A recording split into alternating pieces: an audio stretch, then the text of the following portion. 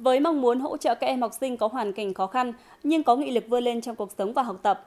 Năm 2022, Đài Phát thanh Truyền hình tỉnh Lào Cai đã thực hiện chương trình truyền hình Chạm tới ước mơ.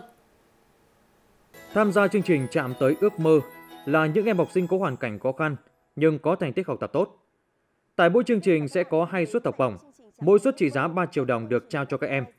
Mỗi suất học bổng được trao không chỉ dừng lại ở sự hỗ trợ về vật chất, mà còn là niềm khích lệ lớn lao, là ngọn lửa thắp sáng ước mơ cho các em.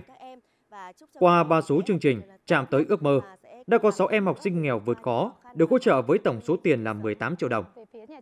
Tuy nhiên, trên địa bàn tỉnh vẫn còn rất nhiều những hoàn cảnh cần được sẻ chia và ước mơ được chắp cánh. Để làm được điều đó, chương trình Chạm tới ước mơ rất cần sự đồng hành nhiều hơn từ xã hội. Tổ chức, cá nhân, nhà hảo tâm ủng hộ các hoàn cảnh này.